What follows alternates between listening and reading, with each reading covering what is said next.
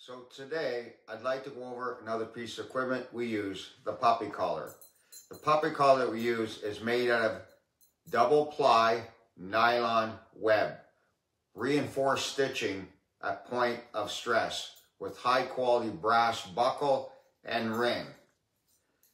This particular collar, if you notice, does not have a, a clip-on system where a lot of traditional collars that are sold in the pet stores today have a buckle system like so.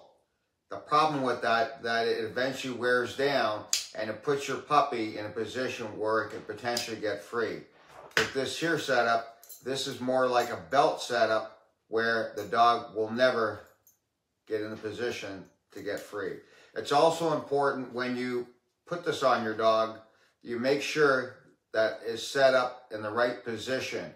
Most people, when they're putting this on their dog, put it too low. They put it actually too close to the bottom of the neck. The problem with that is that it, it forces the dog to pull.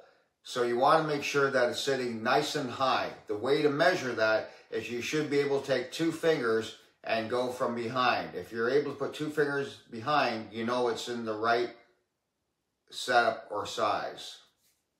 If you have any questions regarding our equipment, feel free to contact us or you can go to our sister company, cccanine.ca.